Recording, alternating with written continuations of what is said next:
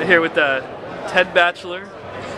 He looks like a very mild-mannered individual, but um, he runs the bases on fire, and you have several Guinness Book of World Records. Yeah, we have the Guinness Book of World Record for most people on fire, which is 17, Uh-huh. and I held the Guinness World Record for longest burn since 2004. My record is 2 minutes and 57 seconds. Okay, and this past season you broke into the world of professional baseball in Savannah. And uh, that obviously, I covered that on Ben's Biz blog and on minorleaguebaseball.com. But for those who, for some reason, didn't read that, uh, how did that experience go? It went fantastic. Uh, the Sand Gnats were great hosts, and we went down and uh, for the first time ever, somebody ran the bases on fire intentionally. Maybe someone's done it unintentionally, but we did it, and the fans loved it, and it was a great experience for everybody that was involved.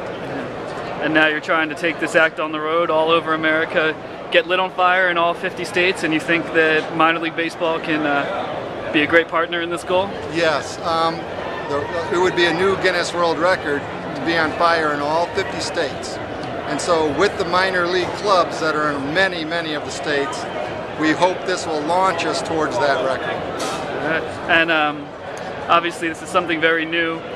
What's been the response so far? The response has been great because of the attention it got on the national media. You know, that really propelled it and gave it credence. Plus the testimonials from the Sand Gnats explaining how nicely it went, how professional it was, etc.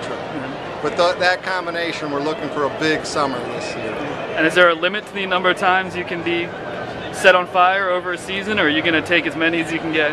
I will take as many as I can, and I'm 52 years old, but I still have the wheels to do this. You know, I may not be the fastest, Yeah. but I'll be the most exciting, that's for sure. All right, well, uh, stuntman Ted Batchelor coming soon to a uh, ballpark near you.